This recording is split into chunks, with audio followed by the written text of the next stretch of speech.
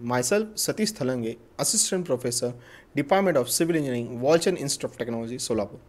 In today's session, we will see regarding the example of resource leveling technique of project. At the end of the session, the observer will be able to apply the skill or the technique for the resource planning as well as management required for the successful completion of the project using the resource leveling technique. As we know that the resource allocation is a, one of the most important part of the overall project in which we go for the assigning of the resource for the individual activities. Once we come to know the resource required for the each individual activities, we are able to go for the defining the overall resource required for the whole project. Now, this is a project with the following activities, their duration and the interdependence and the mason resource requirement. We observe that the overall, the organization is saying that the resource limited is to 6 mason each individual day. Here, the first step is to have the overall construction of normal network diagram in which we have to go for the declaration of the critical path as well as the project duration. So this is a slide which is the overall showing you the network diagram with the activity times and the event times. If you observe here the overall the project duration is of 14 days and the critical path is 1, 3, 4 and 5. This is the overall time scale diagram and the histograph before leveling. Now coming to the point, this is the time scale diagram of the project that is of 14 days. If you observe, we have taken the uh, critical path as a baseline. See the critical path is 1, 3, 4 and 5. This is a 1, 3 and 4 and 5. This is a critical path.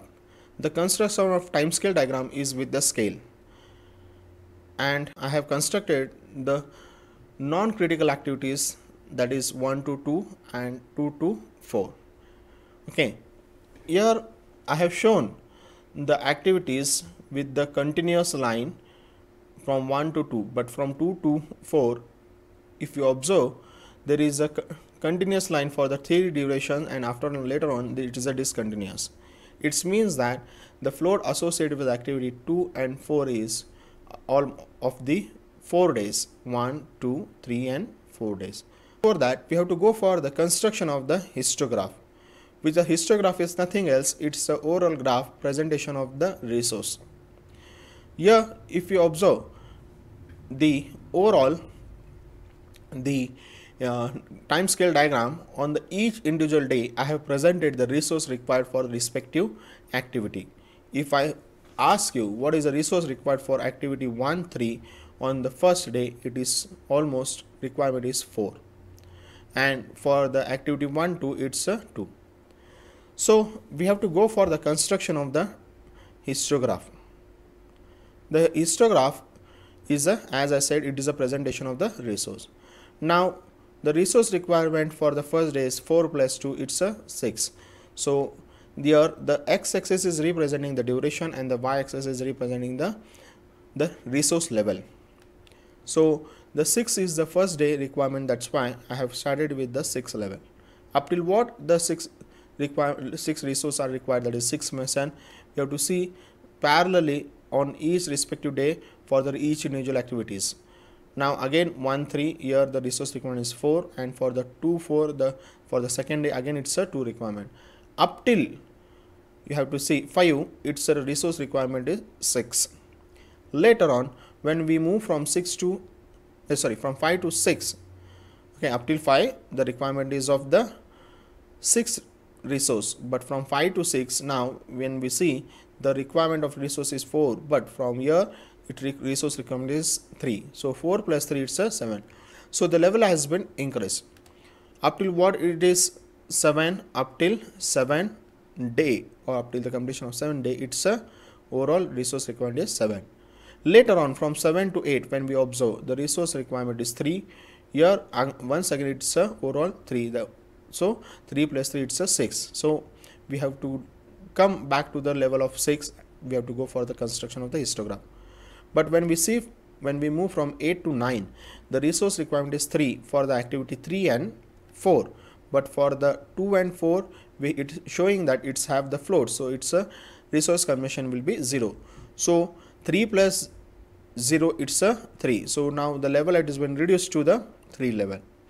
Similarly up till what it is 3 we uh, when we observe the time scale diagram up till you can see up till 12 it's a 3 so up till 12 I, we have gone for the level of 3 later on when we move from 12 to 13 its level has been reduced to 2 because the resource requirement for e activity for the each individual j is the 2 but parallel to 3 at e activity there are no any activities. That's why its its level has been reduced to 2 now again up till 14th day its uh, requirement is 2 so this is the overall the histograph of the resource required for the each individual, day for the each uh, activities which are running on the respective days okay now according to the question we have to go for the leveling of the overall the resource required per day. What they have declared that each individual day they require 6 resource means they have limited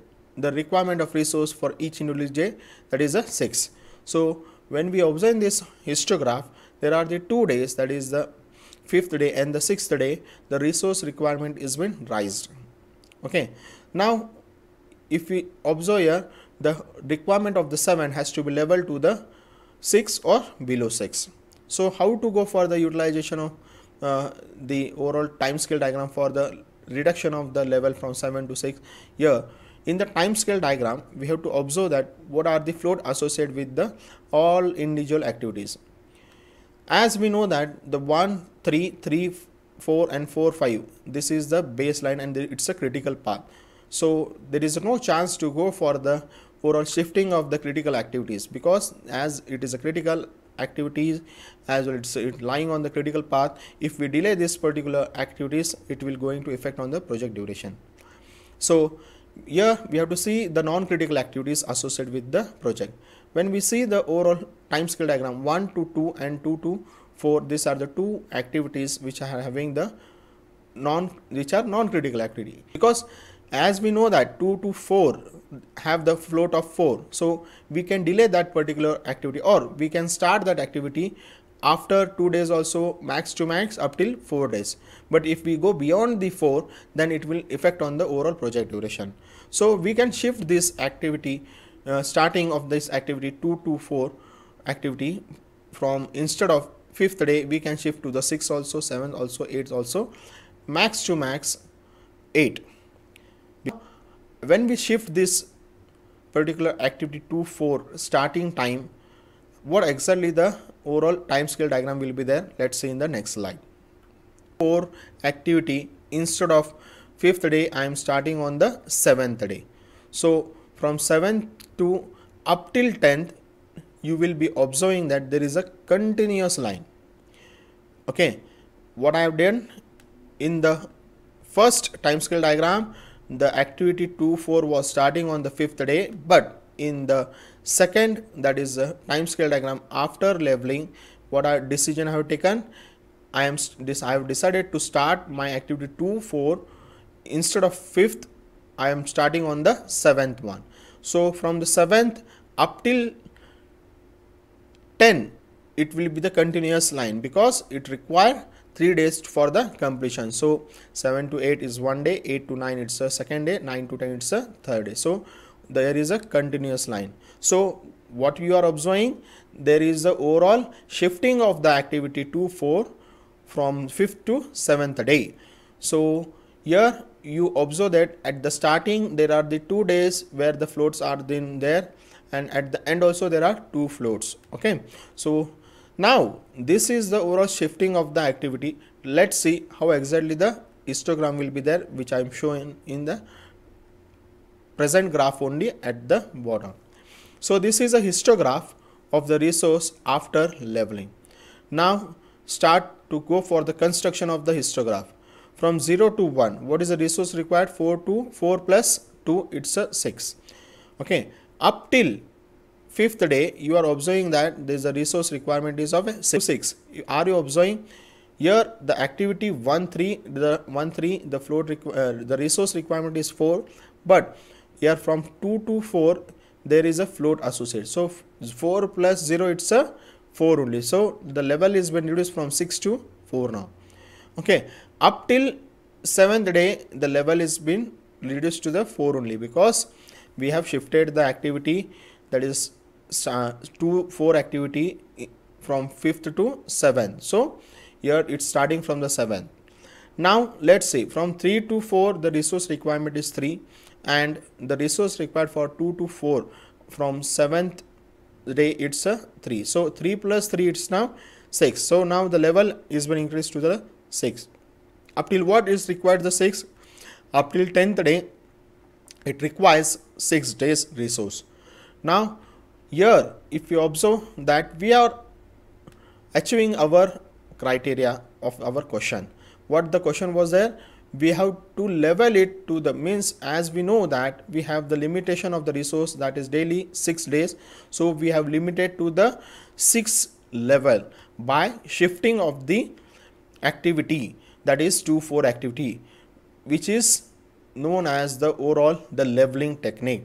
So when we move from the 10th day to the 11th day the resource requirement is 3 plus 0 it's a 3 so from 11 to 12 again its requirement is 3 only.